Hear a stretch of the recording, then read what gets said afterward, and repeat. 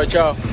Kā redzat, reku mocīts pusvārdīts, mehāniķi reku pako iekšā moci kastēs, uh, gatavs sūtīt atpakaļ uz Eiropu, tā kā te viss tādā nelielā bardakā, viss kopā tusē vienā lielā teltī. Trīs ātri un stabili braucieni vienā nedēļas nogalē.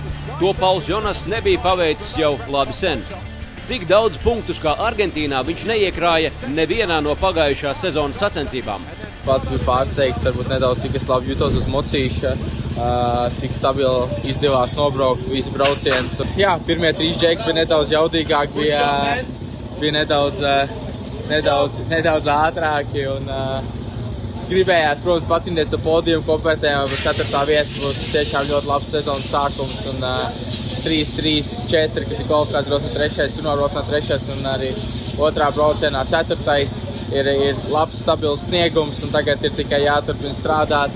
Pēc pēdējo gadu neveiksmēm sacīkstēs, motociklu ražotāju maiņām, atvadīšanās no pilnvērtīga rūpnīcas braucēja statusa, sagaidot šo sezonu, jautājumi ir vairāki. Pirmais - veselība jeb fiziskā gatavība sezonai. Manuprāt, tas ir viens no tiem braucējiem, kas izbauda katru šo mirkli, katru treniņu, jo grūtāk, jo labāk, jo es vairāk izbaudu. Un, tāpēc tas sagatavošanās periods, es tiešām ar smaidu veicu visus treniņus, visu to procesu. Un, tāpat tās ziemas periodā daudz laika pavadīju Beļģijā, sliktos laikapstākļos, bet tas man ir vairāk vai mazāk norūdījis. Un, pats jūtos jau labi pirmajā brīdī, kad uzbrauc, iebrauc trasē, arī pirmssezonas sacensībās un treniņos. Uh, jūt, ka esmu vairāk salēdētāks ar motociklu, varu braukt vieglāk, bet tajā pašā laikā ātri, ar mazāk piepūli varbūt. Otrais jautājums - motocikla konkurētspēja. Un te ir liela starpība, vai tava komanda pārzina motocikla katru niansi par 100%, vai to izzina kopā ar braucēju. Tā ir starpība starp rūpnīcas komandām un pārējām. Jo pārējiem, lai arī cik labi speciālisti nebūtu, vienkārši nevar zināt, kā viens uzlabojums ietekmēs citas motocikla rakstura īpašības. Līdz ar to uzlabojumiem vajadzīgs daudz ilgāks laiks.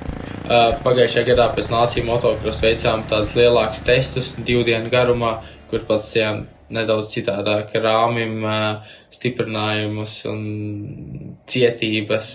Tāpēc motors patestējām.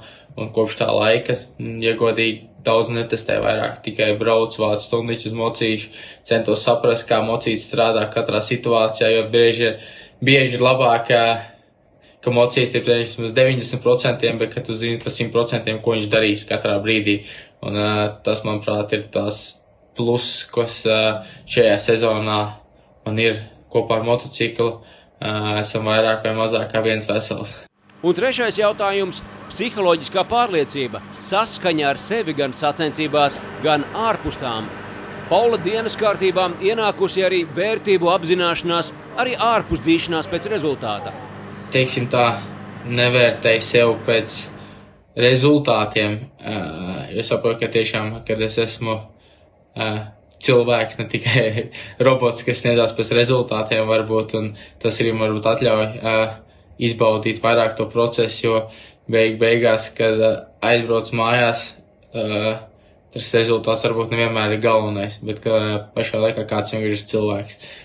Jo iepriekš es domāju, ka vairāk pats skatījos un vērtēju sevi pēc rezultātiem, jo bija slikts rezultāts, vai kas tad uh, biju neomā, uh, bet cerams, ka šogad būs mainījies. Argentīnā Paulam veicas un patīk. Otrais no 20 pasaules čempionāta posmiem notiks pēc divām nedēļām Spānijā. Pauls labi apzinās, ka pārbaudījumu savam un moču spēkam, kā arī pārliecībai šogad vēl būs daudz. Eiropa apgrozījums vienmēr ir uh, citādāks, tā atmosfēra citādāks sajūta, jo GP ir nedaudz lielāks spiediens no malas.